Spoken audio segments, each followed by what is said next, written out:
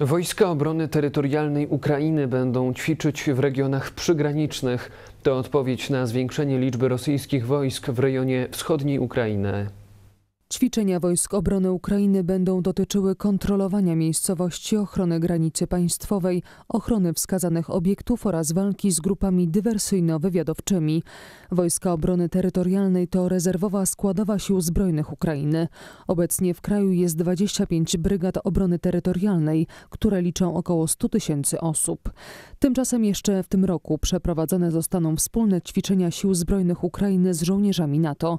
Zdaniem komentatorów może to zwiększyć napięcie między Kijowem a Moskwą.